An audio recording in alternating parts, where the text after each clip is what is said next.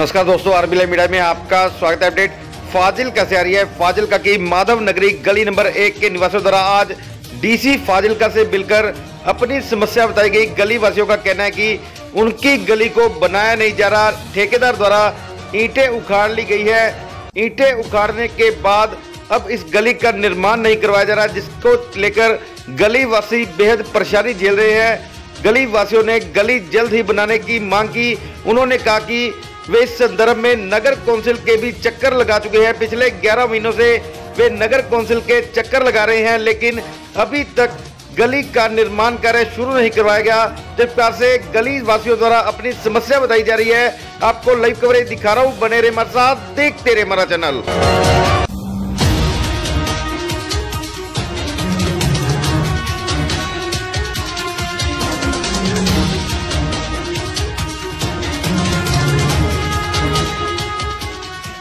ਨਾਮ ਜੀ ਸੌਰਵ ਕਮਰਾ। ਕਿੱਥੋਂ ਰਹਿਣ ਵਾਲੇ ਹੋ? ਮਾਧਵ ਨਗਰੀ।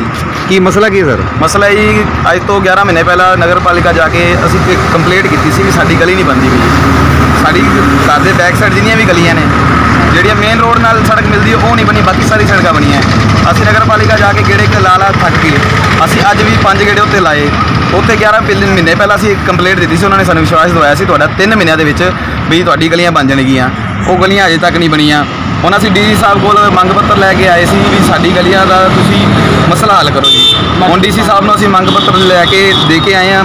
ਉਹਨਾਂ ਨੇ ਸਾਨੂੰ ਇਹ ਵਿਸ਼ਵਾਸ ਦਵਾਇਆ ਵੀ ਤੁਹਾਡੇ ਗਲੀਆਂ ਜਲਦੀ ਤੋਂ ਜਲਦੀ ਬਣ ਜਾਣਗੀਆਂ। ਤੇ ਸਾਨੂੰ ਸਾਨੂੰ ਡੀਸੀ ਤੇ ਡੀਸੀ ਸਾਹਿਬ ਤੇ ਬਹੁਤ ਮਾਣ ਹੈ ਵੀ ਉਹਨਾਂ ਨੇ ਸਾਡੀ ਗੱਲ ਸੁਣੀ। ਤੇ ਠੇਕੇਦਾਰ ਜਿਹੜੇ ਗਲੀ ਪੱਟ ਕੇ ਇੱਟਾਂ ਲੈ ਗਏ ਨੇ। ਕਿਹੜੇ ਮੱਲਾ ਸਰ? ਕਿੰਨਾ ਨੰਬਰ ਗਲੀ ਹੈਗੀ ਗਲੀ ਨੰਬਰ ਸਾਡਾ ਇੱਕ ਹੈਗਾ ਜੀ ਮਾਧਵ ਨਗਰੀ ਵਾਰਡ ਨੰਬਰ 12 ਇੱਟਾਂ ਲੈ ਗਿਆ ਸਾਡੀਆਂ ਪੱਟ ਇੱਟਾਂ ਉਟਾ ਸਭ ਲੈ ਗਏ ਜੀ ਪੱਟ ਕੇ। ਕੀ ਮੰਗ ਕਰ ਰਹੇ ਹੋ ਪ੍ਰਸ਼ਾਸਨ ਤੋਂ? ਸਾਡੀ ਗਲੀ ਬਣੇ ਤੇ ਕੋਈ ਵੀ ਇਨਸਾਨ ਹੈ ਸਰ ਮੀਡੀਆ ਦੇ ਉੱਪਰ ਕੋਈ ਪਾਵਰ ਨਹੀਂ ਗਈ ਮੈਂ ਇਹ ਕਹਿੰਦਾ ਵੀ ਮੀਡੀਆ ਦੇ ਥਰੂ ਇਹਨਾਂ ਨੂੰ ਵੀ ਪਤਾ ਲੱਗੇ ਤੇ ਡੀਸੀ ਸਾਹਿਬ ਸਾਡੀ ਜੋ ਰਿਕੁਐਸਟ ਅਸੀਂ ਡੀਸੀ ਸਾਹਿਬ ਨੂੰ ਕੀਤੀ ਹੈ ਨਗਰ ਪਾਲਿਕਾ ਸੇ ਮਿਲਿਓ ਜਾ ਕੇ ਉੱਥੇ? ਜੀ ਸਰ ਸਾਡੀ ਉੱਥੇ ਕੋਈ ਸੁਣਵਾਈ ਨਹੀਂ ਗਈ। ਉਹਨਾਂ ਨੇ ਕੀ- ਕੀ ਮਰ ਚੁੱਕੇ ਆ ਉਹ ਸਾਨੂੰ ਅੰਦਰ ਹੀ ਨਹੀਂ ਵੜਨ ਦਿੰਦੇ ਸਰ।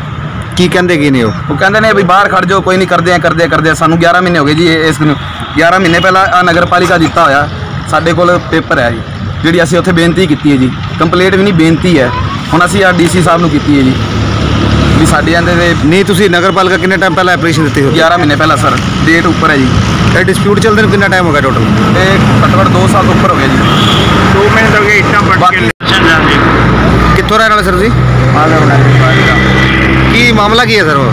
ਮਾਮਲਾ ਇਹ ਹੈ ਜੀ ਸਾਡੀ ਤੇ ਗਲੀ ਮਹੱਲੇ ਦੀ ਜਿਹੜੀ ਬਾਕੀਆਂ ਸਾਰੇ ਬਣ ਗਏ ਕਿ ਸਾਡੀ ਗਲੀ ਰਹਿੰਦੀ ਹੈ।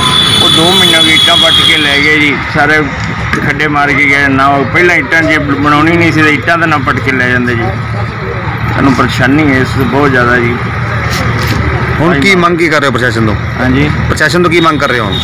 ਮੰਗ ਤਾਂ ਇਹ ਹੈ ਸਾਡੀ ਗਲੀ ਬਣਨੀ ਚਾਹੀਦੀ ਫਿਰ ਸਾਨੂੰ ਹੋਰ ਮੰਗ ਆਪਣੀ ਕਰਨੀ ਕਿੱਥੋਂ ਰਹਿਣ ਵਾਲੇ ਹੋ?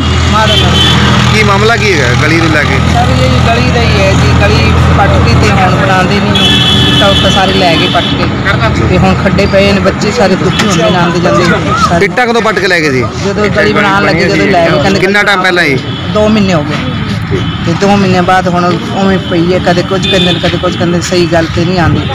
ਨਗਰ ਪਾਲਿਕਾ ਜਾ ਕੇ ਮਿਲੇ ਤੁਸੀਂ? ਹਾਂਜੀ ਗਏ ਸੀ।